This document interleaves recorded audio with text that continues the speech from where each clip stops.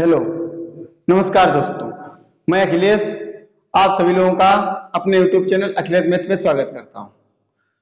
तो दोस्तों, आज जो है क्लास टेंथ की मैथ की एक्सरसाइज नंबर 4.3 का क्वेश्चन नंबर फोर आज क्वेश्चन नंबर फोर हम देखेंगे क्या है। तीन वर्ष पूर्व रहमान की आयु का व्युतक्रम, अब से पाँच वर्ष पश्चात आयु के व्युतक्रम का योग एक बटे तीन है, उसकी वर्तमान आयु ज्ञात कीजिए। रहमान की वर्तमान आयु ज्ञात करनी है तो हम लिखेंगे, माना रहमान की वर्तमान आयु, हमने कितनी मान ली? यक्ष मान ली। माना रहमान की वर्तमान आयु, यक्ष मान ली। अब बात कही गई तीन वर्ष पूर्व। तो हम लिख देंगे तीन वर्ष पूर्व। पूर्व का मतलब पहले की बात हो रही है। तीन वर्ष पहले इसमें से तीन कम हो जाएगा।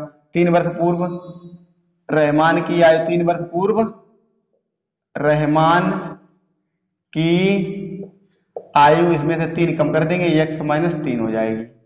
ठीक है?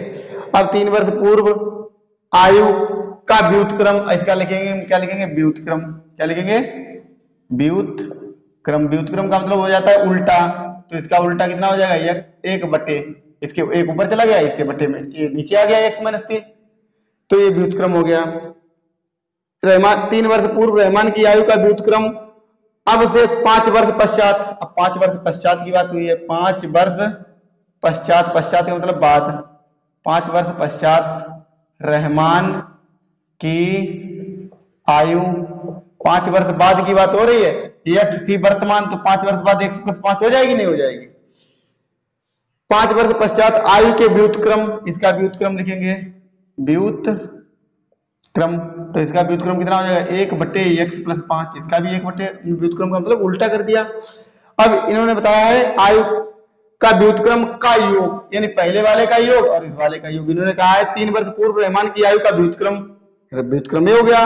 और अब से पाँच वर्ष पश्चात आयु के व्युतक्रम, इसका व्युतक्रम हो गया का योग, यानी इन दोनों का योग। अब प्रश्न अनुसार लिखेंगे। इनके योग, इन दोनों की बताए व्युतक्रम का योग। एक बटे एक्स माइनस तीन प्लस एक बटे एक्स प्लस पाँच। ठीक है? का योग एक बटे तीन है? तो हमने लिख दिया एक बटे तीन। इन दोनों का योग एक बटे तीन है तो एक बटे तीन कर दिया। इसका इधर गुणा करेंगे तो एक्स प्लस पाँच ऐसे ही आ जाएगा। इसका इधर गुणा करेंगे तो कितना आ जाएगा? एक्स माइनस तीन आ जाएगा।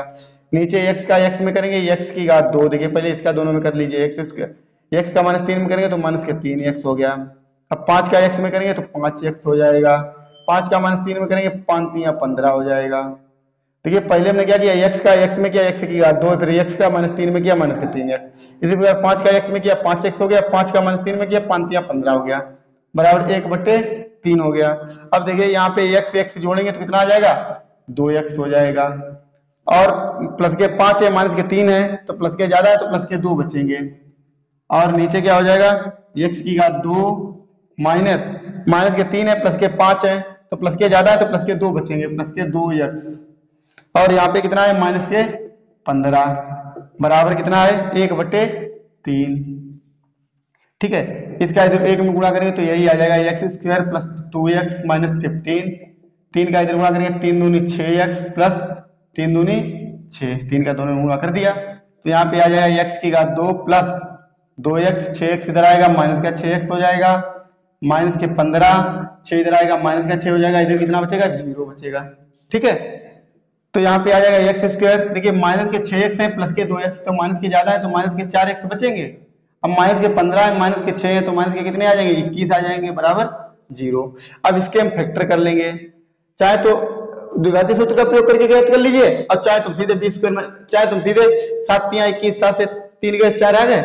तो यहाँ पे आ जाएगा एक्स स्क्वायर माइनस सात इधर गुणा करने गुणा करने पर इक्कीस आए, घटाने पर चार आए। तो सात तिया, इक्कीस, सात से तीन गए, चार बचे। तो सात माइनस तीन, यहाँ पे चार बचेंगे एक्स लगा एक्स लगा देंगे माइनस के इक्कीस लिख देंगे, बराबर ज़ीरो। देखिए, सात तिया, इक्कीस हो जाता है। सात से तीन गए, चार बचे एक्स लगा दिया। अब यहाँ पे आ जाएगा एक्स स्क्वायर माइनस क्या? सात एक्स हो जाएगा। माइनस का इसमें गुणा करेंगे तो यहाँ पे प्लस तीन एक्स हो जाएगा। माइनस के इक्कीस बराबर ज़ीरो। इसमें और इसमें देखिए, इसमें से एक्स कॉमन ले लीजिए। तो यहाँ पे बचेगा एक्स यहाँ से एक्स निकल जाएगा तो क्या बचेगा? सात। यहाँ से प्लस तीन कॉमन ले लीजिए तो यहाँ पे बचेगा एक्स तीन कॉमन लिया माइनस तीन सत्ते इक्कीस। ये इधर आ गया। अब इसको एक ब्रैकेट में कर दीजिए। एक्स माइनस सात और एक कोष्टक में कितना आ जाएगा? एक्स प्लस तीन बराबर ज़ीरो। ठीक है? अब हम लिखेंगे एक्स माइनस सात बराबर ज़ीरो। तो बराबर कितना आ जाएगा? सात। इसी प्रकार एक्स प्लस तीन बराबर ज़ीरो, अब ये वाला हमने बराबर ज़ीरो कर लिया तो एक्स बराबर कितना आ जाएगा? माइनस की तीन, ये कैसा हो जाएगा? अमान्य। क्योंकि आयु कभी माइनस में नहीं होती है। तो आयु एक्स का मान सात वर्ष आया प्रमाण की वर्तमान आयु एक्स थी तो एक्स का मान कितना आ गया? सात आ गया। तो लिख देंगे, अतः रहमान की वर्तमान आयु बराबर सात वर्ष रहमान की आयु कितनी आ गई? वर्तमान आयु सात वर्ष आ गई। ठीक है? तो आप लोगों को अच्छे तरीके से समझ में आ गया होगा। इसका ये सोल्यूशन तो फिर आज के लिए इतना ही। फिर मिलते हैं नेक्स्ट एपिसोड में। तब तक के लिए जय हिंद दोस्तों।